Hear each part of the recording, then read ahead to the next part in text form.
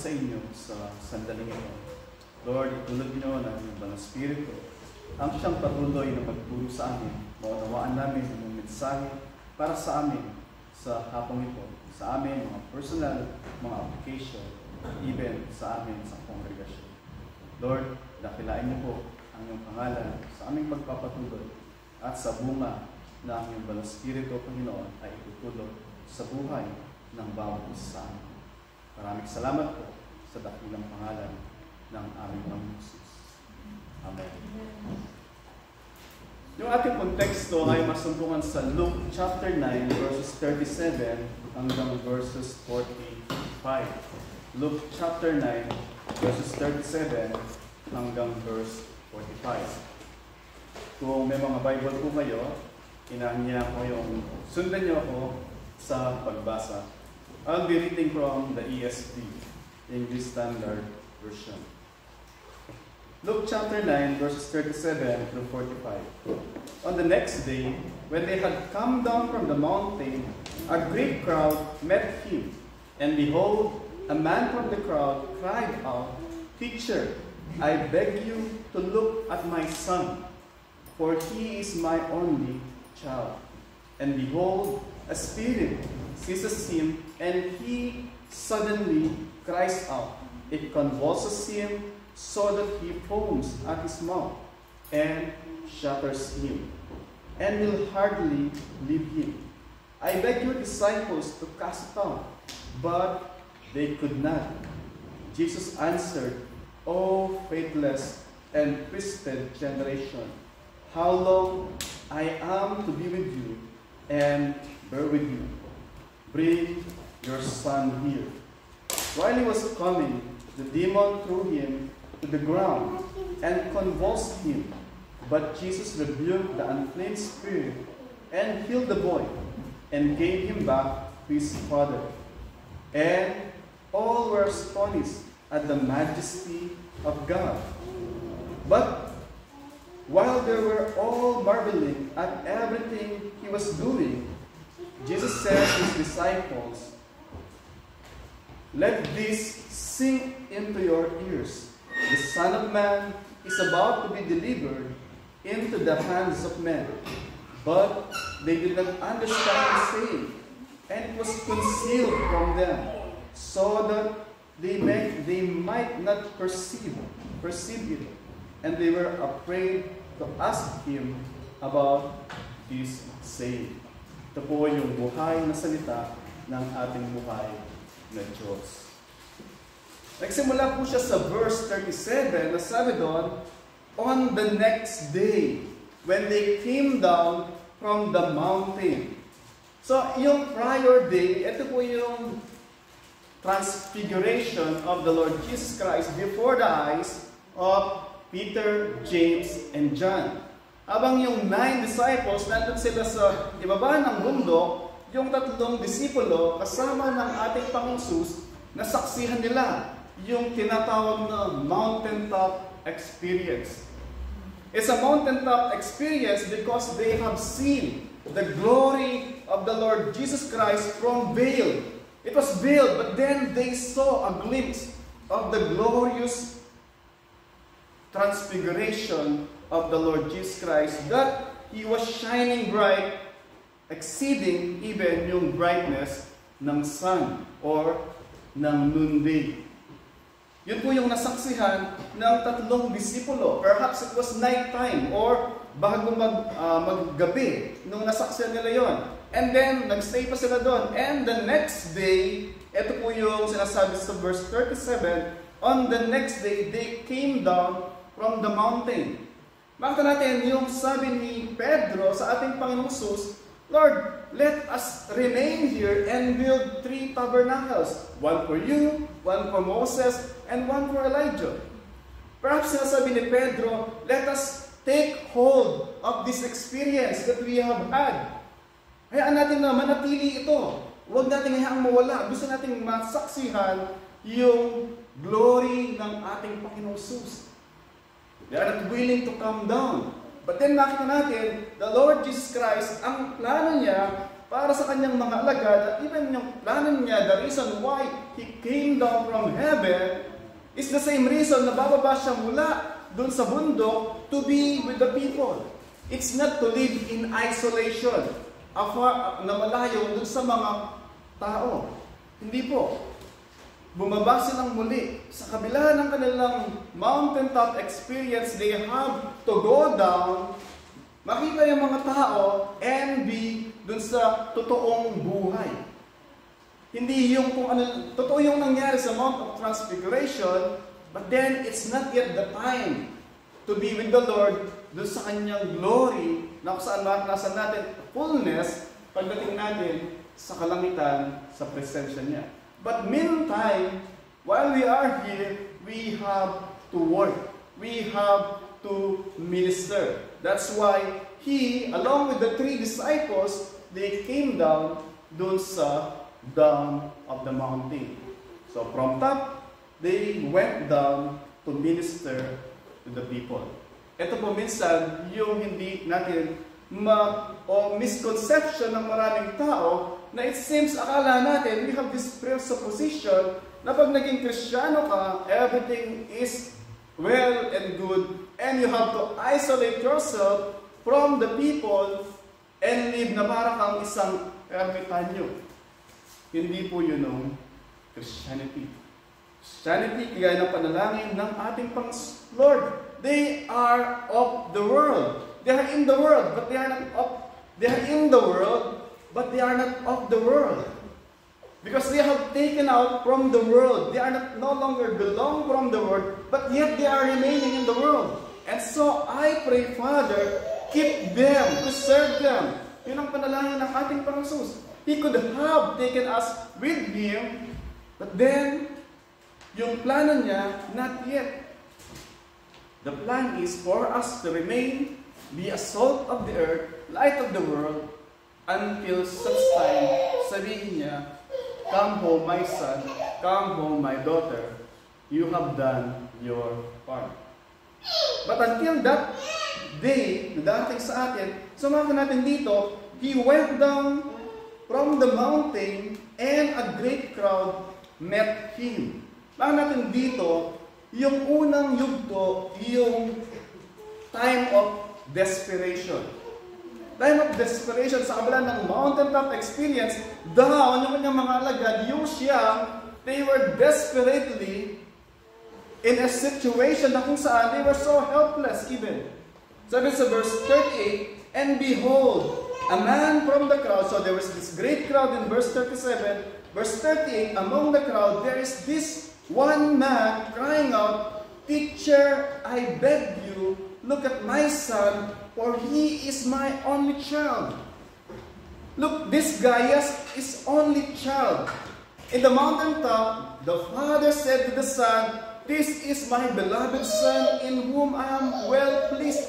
Listen to him. He's so filled, full of the Holy Spirit, whereas down the mountain, there's this only son whom he was possessed.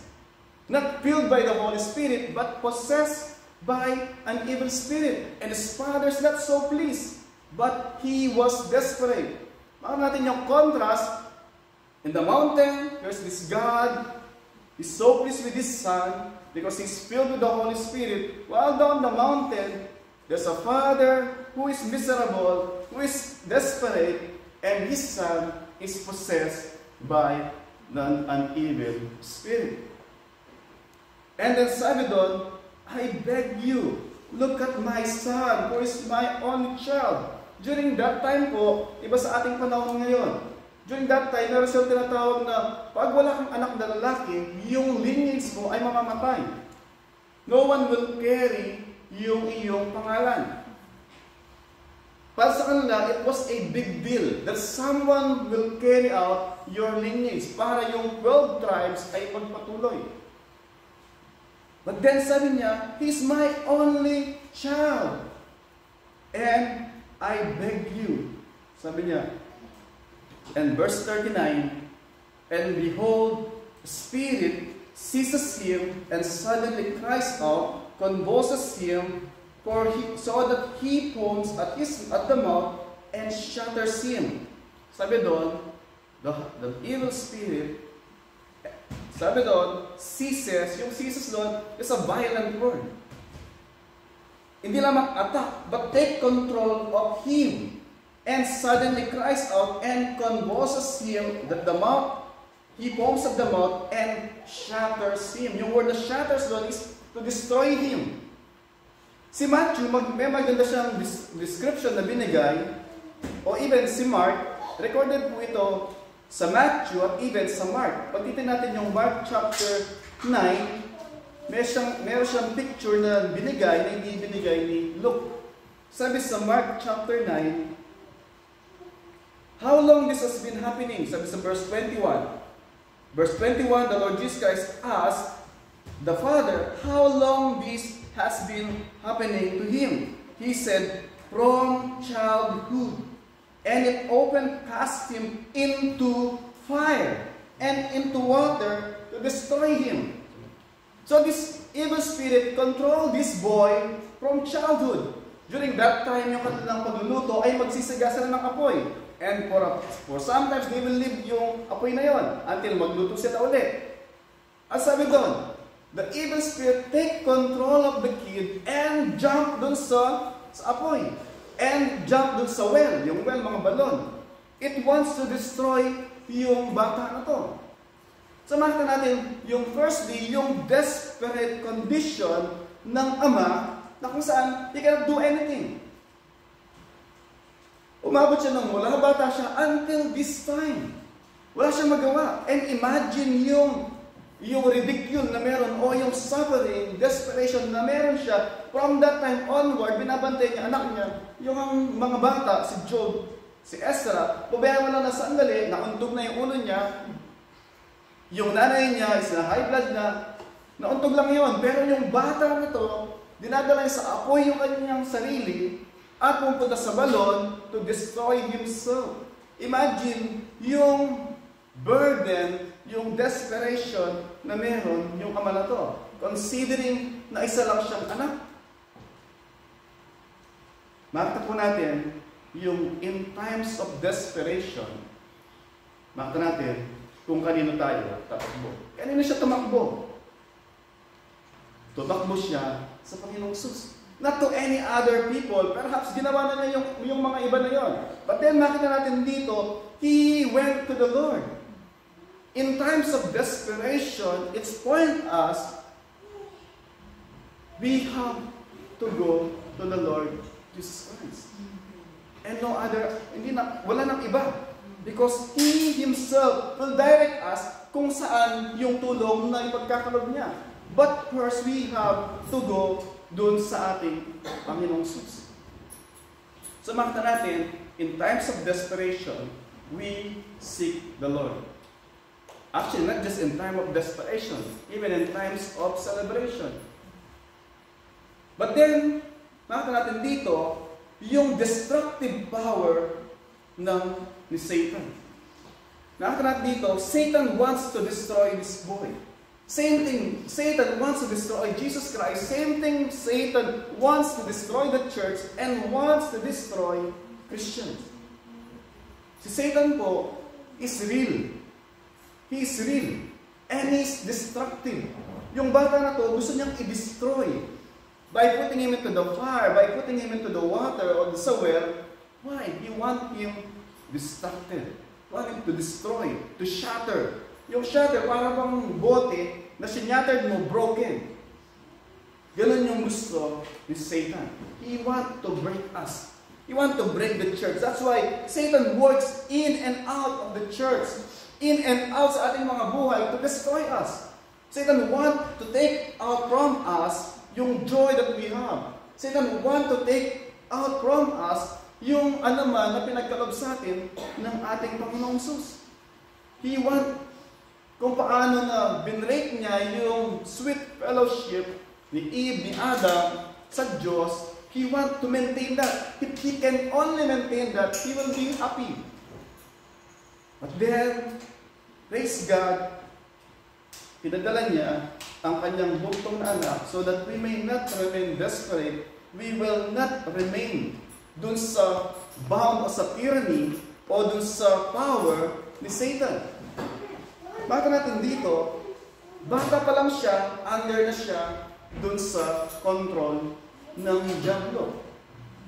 The truth is, sabi dun sa uh, John chapter 8 verse 44, there's only two families na bawat isa ay belong sa either you are belong to God as your father is your father or the devil is your father. Anyone who is in Christ, and sa Colossians chapter 1 verse 13, has been transferred from the power of darkness into the power of His marvelous light. Yun ang pagkakaiba. Before we are all darkness, we are all children of the devil. We were born as children of the devil. Because we were all sinners by birth, by conception. And so when we came out from the world, we are all sinners under the dominion, tyranny of Satan. But then, by the grace of God, if one person is born again, John 3.3, he became a new man, a new person, the identity of Christ. Yun sinelyohan siya. Na kung saan, from children of the devil, we became children of God. So bakit natin dito, even children, sabi dito, they were possessed by the devil. And his power is destructive and his power is real. So praise God na po tayo na nandito ay mga Kristiyano and have that compassion toward those people outside who do not know Christ. Because hindi nila alam, they were under the tyranny, under sa power ni Satan. Unless they are born again, they, not only they can see the kingdom of God, but there's no way for them to get out, to get free doon sa paghahari ni Satan. Satan's power is destructive. He wants us destroyed, He wants you destroyed. He wants his church destroyed. He will not win against God, and so he will work to the people of God. Kung paano Satan loves to destroy Job because he cannot touch God, but he can touch us. And sometimes even si Pedro, after saying, Lord, you are the Christ, the Son of the living God. Diba? Blessed are you, Simon Barjona, for flesh and blood did not reveal it to you. But my Father was in heaven revealed it to you. What a blessed confession na meron si Pedro as he was given, uh, he received from God the Father. And yet, just a verses later, nung sabi ng ating Panginoon, I must go to Jerusalem and there I will suffer and die. Ang sabi ni Satan, ano sabi ni Pedro? Lord, far be it from you. Lord, God forbid. Ang sabi ng ating Panginoon, from, Blessed are you, Simon, now is, get behind me, Satan. Even Satan can work through Peter by aligning Peter dun sa will ni Satan. The difference is, an unbeliever can be possessed and obsessed by a demon. Obsessed and possessed. What yung believer can only be obs- uh, suppressed. Pwede tayong pahirapan, pwede tayong isuppress ni Satan, but he cannot obs- possess us. Nakita yung pagkakaiba ng Kristiyano. Why? Sabi po sa 1 Corinthians 3.16, sabi sa 1 Corinthians 3.19, we have the Holy Spirit and God dwells within us. Satan and God cannot dwell in the same place. Makita po natin dito na kung saan, yes, Satan cannot possess us, cannot dwell within us, but then he can suppress us. And can cause us na kung saan among us, kung paano si Pedro ay ginamit ng Diablo, he can use also each one of us to destroy us. And we have to be sober patungkol po doon sa tricks, doon sa skill ni Satan. And sabi doon, verse 40, nakita natin yung again, desperation not just of the Father, desperation of the Son, even the desperation of the disciples. Sabi doon, I beg your disciples to cast it out, but they could not. Luke chapter 9, verse 1, the Lord gave them the power over all spirits. Sabi sa Luke chapter 9, verse 1, And He called the twelve together and gave them the power and authority over all demons to cure diseases. All demons. But what happened? While the Lord Jesus Christ is having conversation with Moses, Elijah, and the three disciples, Peter, James, and John, they experienced the glory of the Lord Jesus Christ. The nine disciples down there, they are helpless, desperate, and sabi dun sa Mark, they are having dialogue, conversation dun sa mga eskriba, mga Sadduceo, and perhaps they are saying, where's your power?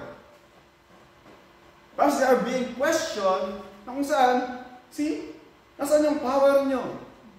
See, perhaps you are just hooks, just like your master. Where is your master? Yun yung binabato sa kanila. They were unable, they were desperate. It's not because they do not have the power. The power was given to them. But because, sabi sa Matthew, this kind of demon can only be dealt by prayer. Perhaps they trust dun sa kanilang sariling power. We have done it many times. They were sent, right?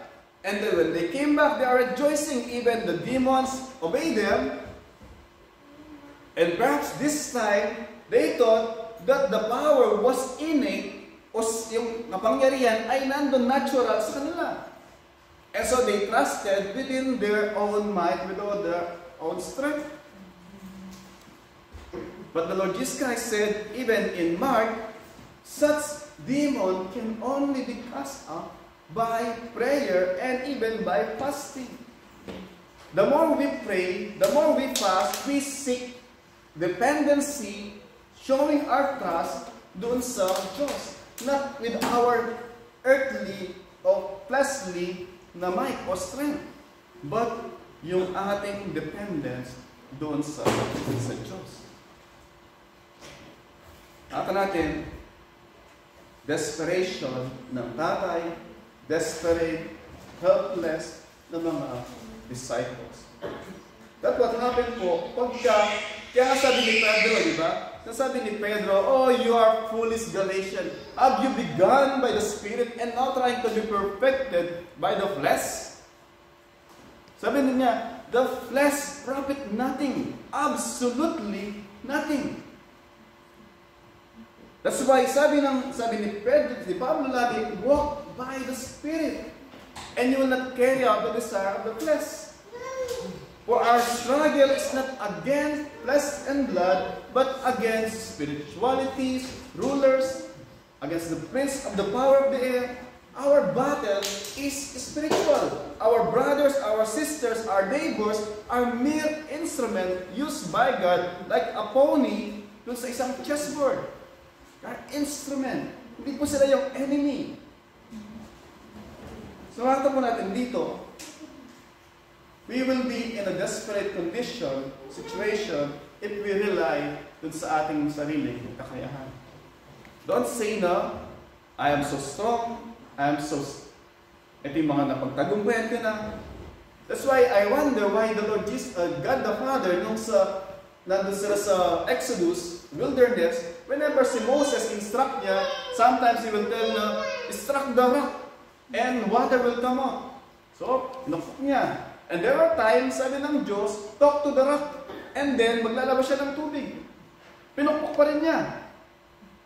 Sometimes, the dealing of the Lord is iba-iba. So that wag tayong matuto dun sa mga memory lang. Na kung saan, hindi, eh, lagi ganito umubra eh. So, Lord, ngunit muna sa iyo ngayon, Lord. I can manage it. Napagtagumpayan ko kanina, Lord. This time, it's the same result. But, that's not what happened. Samanta natin dito, sabi ng ating pangsus, O faithless and twisted generation, how long I am to be with you and bear with you. It seems like frustration. But of course, the Lord Jesus Christ, He knows everything. But then, even na alam niya lahat, it's so frustrating na yung mga alagad mo, you have given them the power, and yet unable to deliver o tulungan yung isang ama na desperado. And then, actually, there's also a rebuke to the Father. Pagka mabasahin mo yung kay, kay Mark, sabi doon, Mark chapter 9 verse 22, sabi po dito, sabi sa Mark chapter 9 verse 22, and tinanong siya, so lumapit siya sa ating Panginoon, sabi niya, but So after niya sinabi, no, throw him into the fire and the water to destroy him. At ikasunod, same verse 22, But, nagtasal tayong tatay, But if you can do anything, have compassion on us and help us. Ang sinasabi niya, If you can do anything. So lumapit siya sa ating pangsus, seeking help, seeking compassion, and yet sabi niya, if you can do anything. Ano sagot ng ating Panginoon Let me try. Perhaps I have the power. Sabi niya, sabi ng ating Panginoon Jesus said to him, If you can, with exclamation point, if you can, all things are possible for one who believes. Sabi niya, all things are possible. To whom? For whom or one who believes. In fact, sabi ng ating later on, moving forward, sabi niya, dun sa Mark chapter 11, verse 22, Jesus answered sa kanyang mga alagad, kasi nag-wonder sila na yung fig tree, instantly, nag-withered yung fig tree, kasi walang bunga. And then sabi ng ating pangsus, sa verse 22, ng Mark chapter 11, Jesus answered them, Have faith in God. Truly I say to you, whoever says to this mountain, Be taken out and thrown into the sea, it and does not doubt in his heart, but believe what he says will come to pass. Sabi niya, believe. It doesn't end there. Believe in God. Ayun na sinasabi, Believe doesn't have power in and of itself. Wala pong power yung believe. Walang power yung faith. The power rests on the object of faith. Believe in God, sabi niya. Believe in God because in God there lies the power.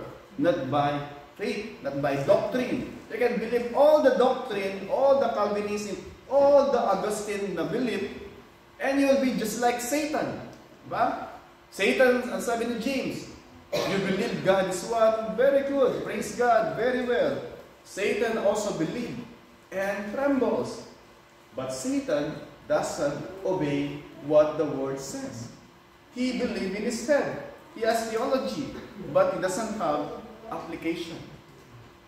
So makita natin dito, going back dun sa Luke chapter 9, makita dito, perhaps the rebuke is towards the unbelieving mga Israelites, dun sa father who has a little faith, at even sa mga alagad.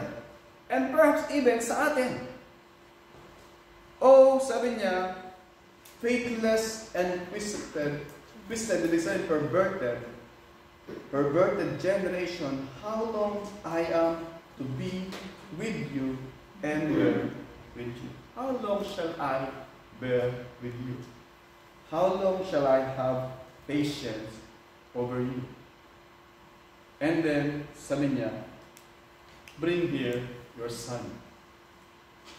Actually, the good thing is, Nirebuke siya ng Panginoon. Even yung tatay, nirebuke siya. But then actually, yung tatay, maganda yung sinabi niya pag babasahin niya yung sa Mark. Sabi niya, Lord, I believe, help my unbelief. He recognized that his faith is shallow. His faith is in one. Ibig sabihin, kulang. But then sabi niya, Lord, help my unbelief. That is actually a doctrine. Because our faith is freely given by God. Tapos Lord, I believe, I have this small thing I knew about you. And yet I have so many questions. Lord, help me settle this once and for all. And the Lord will give graciously sa atin. Yun po yung sabi ni James. God gives graciously to those who ask. And sabi niya, verse 41, verse 42, While he was coming, the demon threw him to the ground and convulsed him. Nakita natin dito, as he was coming, the demon threw him into the ground and convulsed him. But Jesus rebuked the unclean spirit and healed the boy. Very fascinating. Matthew, Mark, Luke, hindi sila naglagay ng napakaraming description kung anong ginawa ng Panginoon na nag-pray siya ng ganito, napakahaba, ang daming drama. Wala silang nilagay na napakarami. They simply wrote, and Jesus helped or healed the boy and instructed yung demon never to come back again to this boy. Walang maraming drama. Because hindi yung mahalaga kung paano pinagaling. The fact is, he healed the boy shows he has power over the demons over the evil spirits. Sabi natin kanina, di ba? All unbelievers, they can be possessed, obsessed, and even suppressed by evil spirit. But praise God, our Savior, has authority over all evil spirit and He can cast out and heal sino man pinopossess, na-obsess, sino suppress ng evil spirit. Sabihin, the Lord Jesus Christ is the cure. The Lord Jesus Christ is the deliverer. He can deliver us from whatever desperate situation and destructive attack ni Satan. No amount of desperation, no amount of destructive power para hindi tayo lumapit sa ating Panginoon. And then sabi doon, so, but Jesus rebuked the unclean spirit, healed the boy. Ito nakita natin dito, and gave him back to his father. Lagi akong na-amaze dun sa Mahala niyo si Tabita, di ba, Talita ko, nung pinag, pinagaling niya yung bata, binilag niya sa kanyang, sa kanyang magulang. Even yung sa, sa dun sa pinagaling na patay na na bata, on the way papunta sa libingan, binuhay ng pangs, and then binalik niya sa kanyang, sa kanyang nanay na widow. Makita natin dito, yung work ng ating Panginoon is to restore what was lost because of sin. Yung tao na to has been possessed, o yung bata na to, possessed by the evil spirit because of sin. Ito yung resulta. Sin ruled. Of course, God ruled. But this world ay pinuputakte o ini-plague. Ano ba plague sa Tagalog? Uh, salot. Sinasalot ng mga, because of sin, sinasalot ng, ng ano naman, ng mga uh, kademonyohan. And sabi dito, kung saan, but when the boy was healed, he was brought back dun sa kanyang ama. Ito yung isa sa ministry ng ating pang Panginoon Jesus. To restore what was lost because of sin. Ito yung deliverance. Ito tinatawag. Our condition is so desperate because the power of Satan is so destructive But God's power is so, because His deity is God, the Lord Jesus Christ, He is our hope, He is our deliverer. He can deliver us and restore what was lost because of sin. Binalik niya sa kanyang tatay to enjoy yung kung ano man nawala. Imagine nyo, from the time na yung bata na yon, in-obsess, pinossess siya ng evil spirit, he was like he was lost. Nawala siya sa kanyang tatay. And he was possessed by the demon. But then, because of the deliverance that Jesus brought, He brought him back doon sa kanyang tatay that he may, they may enjoy yung sweet fellowship nila bilang magkama. Yun po yung salvation natin. Once upon a time, we were all under the tyranny, under the suppression, even possession of Satan. But by God's grace, when we were saved, we were transferred dun sa kingdom ni Satan and we were given a new home, new family, and a new name. Christian, Christ with us. And so, our relationship with God the Father has been restored. We have been reconciled to God the Father. And we can come, approach Him boldly. Sabi ng Hebrews, because of what Christ has done, let us come, draw near to God with confidence and with boldness. Why? Because Christ has done it all. His work is to reconcile us back to God the Father. And even, not just to God the Father, because when we restore yung ating relasyon sa Diyos Ama, then we can have our relationship restored with one another. Why? Because there's one Spirit na nananahan sa atin. We have one language. That is love. Before, it's love, it's hate. But then, because of what Christ has done, the Holy Spirit residing among us and within us, it caused us na kung saan to love God above all else and love our neighbors as ourselves. It's only possible because of what Christ has done and because of the Holy Spirit residing and conforming us dun sa image and will ng ating Ama. And then sabi niya, verse, dulo ng verse 42, okay, was rebuked and then was brought back to the Father, and were all astonished at the majesty of God. Nakita niyo dito, sabi doon, And we're all, all were astonished at the majesty of God. Mata po natin dito, God is so magnified. The majesty of God is so magnified dun sa word ng kanyang anak. Sa word ng kanyang anak ng ating Jesus. They don't say, wow, glory to Jesus Christ. Of, of course, he was, he was healed. But then, the glory, the acclamation is to God the Father. Ito po sinasabi natin lagi na solely the gloria that God would be glorified in our lives, in our speech, in our action, in our, in our church, and in us as individual. that people will see the majestic work of Christ within us. That they will say, it's not possible sa sarili lang yan. It's only possible because of the Holy Spirit. Glory to God in the highest. It's not glory to us. What we have is the joy. But God has the glory. So mata po natin dito, sometimes sinasabi natin sa ating mga sarili, kung lamang na para bang yung nagtatrabaho tayo para sa Panginoon because of the reward, because of the acclamation, because of the mga papuri. That's not the way it works po. God's so gracious na kung saan Even actually, before tayo naging worthy, He freely given to us yung kanyang anak.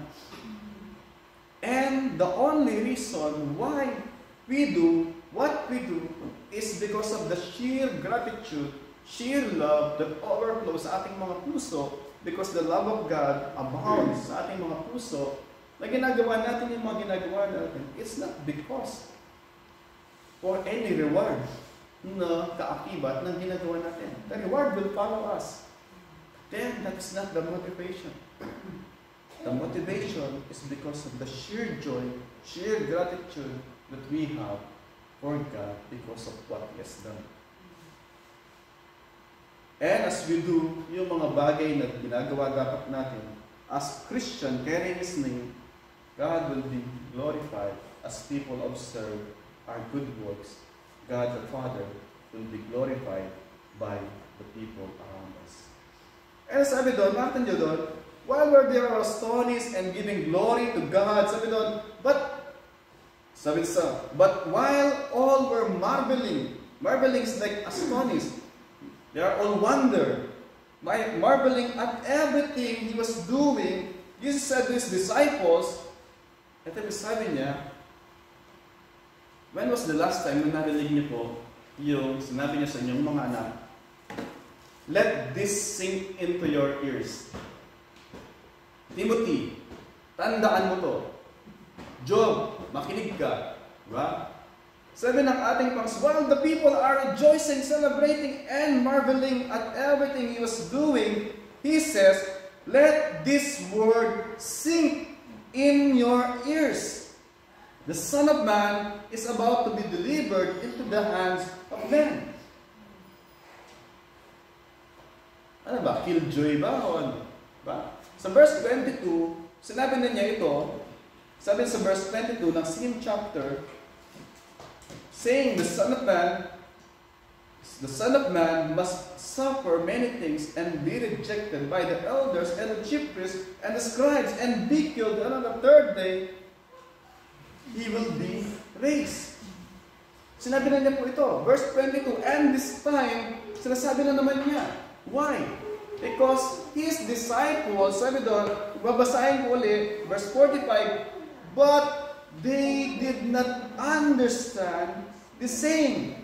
It was concealed from them, so that they may not perceive it and were afraid to ask about the same. Wala ko negative dito sa, sa verse na to. First negative, but they did not understand the same. They did not understand the same. Why? Negative number two. For it was concealed from them. It was hidden from them.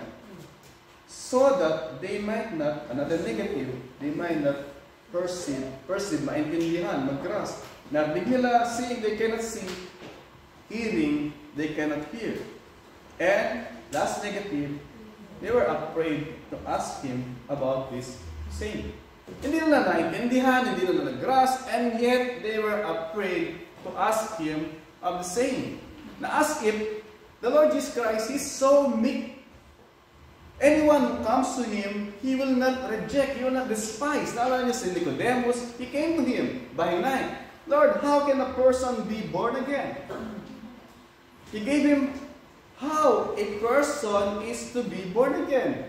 Very, very patiently. Kinawid po niya. He walked with Him. Unless you are born again, you cannot enter the kingdom of God. Pinaliwanag niya what it means to be born again. But yes, may mga tao nagtatanong sa kanya. Tatanong nila is, para siluhin ang ating Panginoong Sus.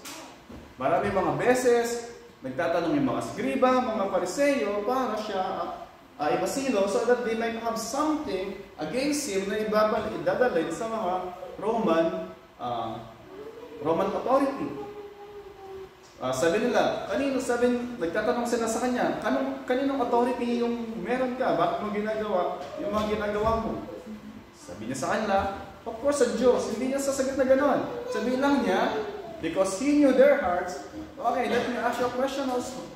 Kaninong authority meron si John the Baptist para magbaptize? Sa Diyos o sa tao? Ang sabi ng mga scriba, pag sinabi natin sa tao, Babatuin tayo ng mga tao. Bakit? Naniniwala yung mga tao. Pag nasinabi natin sa Diyos, sabihin ng mga tao, bakit di kayo naniniwala sa Kanya? Sabihin natin, hindi natin alam. Why? Because they were hypocrites.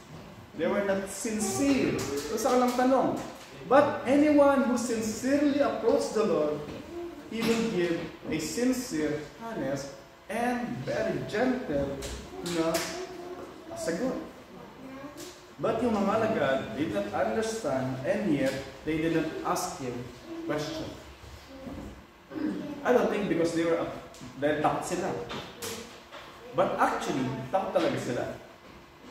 It's not because rude yung ating Panginoon, but because they are afraid of the answer.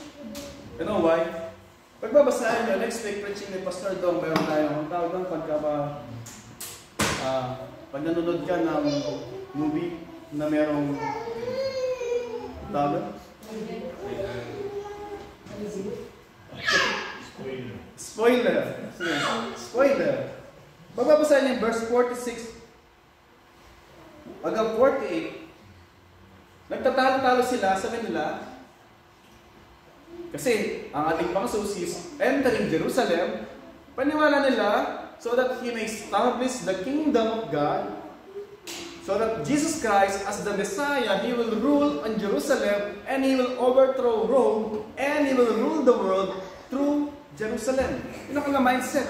Kaya nga pagdating sa verse 46, 48, ano pinag-usapan nila? Sino yung maupo sa kanan, opo sa kaliwa? Diba? Sabi na sino, sino yung great sa kanila? Pinag-usapan nila, who is the great among themselves?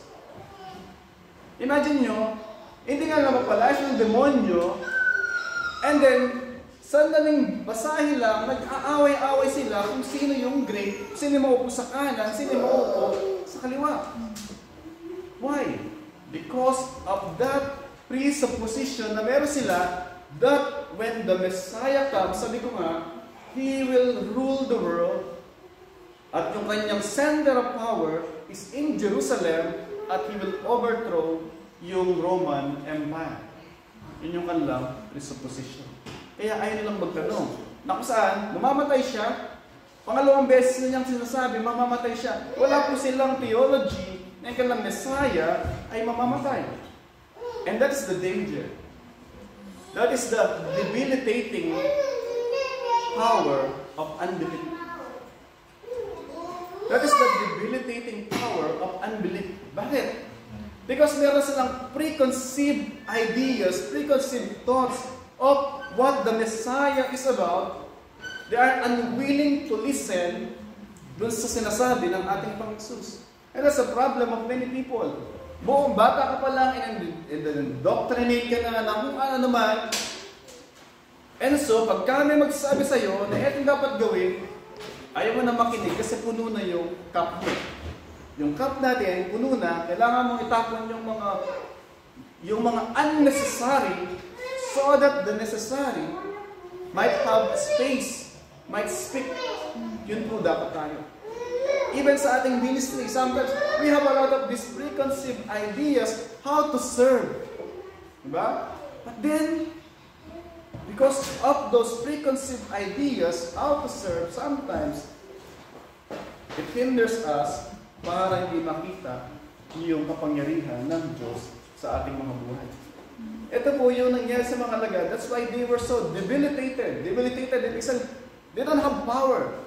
Why? It's not because the power is not there available, but because it hampers them because of their unbelief, because of their preconceived ideas sa kanilang mga isip about the Lord Jesus Christ. Naniniwala sila that Jesus Christ is the Messiah, but then they have another set of ideas kung ano yung gagawin ng Messiah pag dumating siya. But The Lord Jesus Christ, sabi niya, I must be delivered, sabi niya, to the hand of man. The way to glory, na sinasabi ng ating pangsus, is the way to the cross. There's no shortcut. The way to glory is to the cross. So ito yung mga alagad. Yung mga alagad, nagpapaunahan sila kung sino yung maupo sa kanan, sa kaliwa, sino yung great among themselves. Then, the Lord Jesus Christ teaching them, whoever's the greatest among you must go last. Must be a servant. Servant heart, servant attitude. Not someone na yung paa nakataas at nagsisilbihan. Our Savior is a servant. Even now, He's serving in heaven. He's serving us. He's praying for us. He's interceding for us. And so, we too are encouraged to serve. To serve Him, to serve one another, and to serve para sa proclamation ng good news so that others also might be might believe and be set free from the tyranny and dominion of Satan. Because there's no other way. They have to hear the gospel that they might believe. How can they believe? Sabi ni Isaiah, unless someone is sent. And how can they hear? Kung wala pong magsasalita. Pinagali ko lang yung English sila. At iba na po. Point ko po doon is people need to hear the gospel because people are in desperate, hopeless situation without Christ. And the destructive power of Satan is real. Without Christ, people perish. But praise God, we have delivered Jesus Christ, even in our debilitation, when, there are un, when there's unbelief, we cry to Him, Lord, help our unbelief. And He will help us. Because sa ating sarili, there's no way for us to accomplish, to carry out yung kanyang task para sa atin. Praise God, binigay niya yung kanyang spirito so that we have both the willingness and the power to do kung ano yung nice niya para sa atin. Let us all stand and as we dinidistribute yung um, elements for the Lord's Supper, I encourage you to seek our hearts. Ano ba yung mga instances sa ating mga buhay na kung saan we cannot hear God, we cannot see His will because of our preconceived ideas, preconceived thoughts sa ating mga isipan that hampers us or hinders us to see and to hear yung pangusap ng Panginoon. And let us take this time to ask the Lord for forgiveness and restoration. Kung paano yung Ama cried out for help, we can cry for help sa ating Diyos. Let us give mga two minutes po. Let us search our hearts at tayo ay ang manalangin.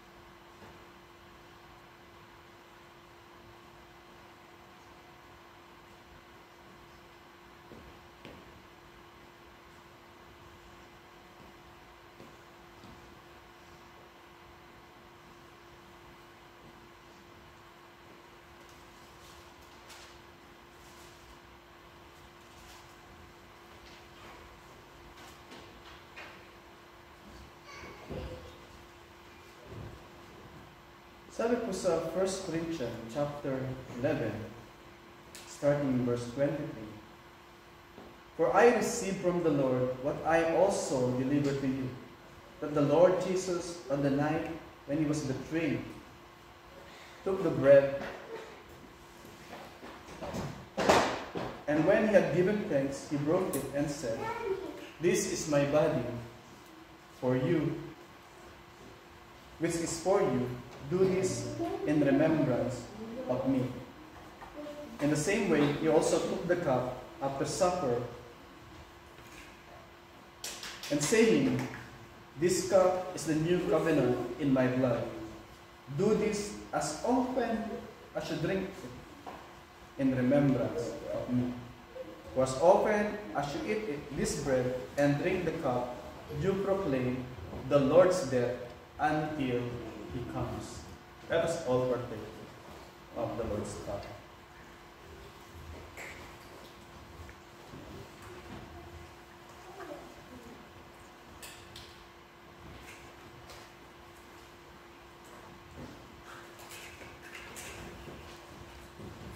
While you remain standing, receive the closing prayer and the benediction. Father, help us, O God, that the things we have heard would sink in into our hearts, into our minds, and move our arms and our legs. Lord, help us to put into practice, into application, the things that we have heard from your holy word, because your word are true, living and active. Help us, Lord, by your Holy Spirit, because without your God, we can do nothing. And now to him who loves us and has freed us from the dominion of sins and from the tyranny of the devil. By his sins, by, her, by his blood, he made us a kingdom of priests to his God and Father. To him be glory and dominion forever and ever. Amen. Amen.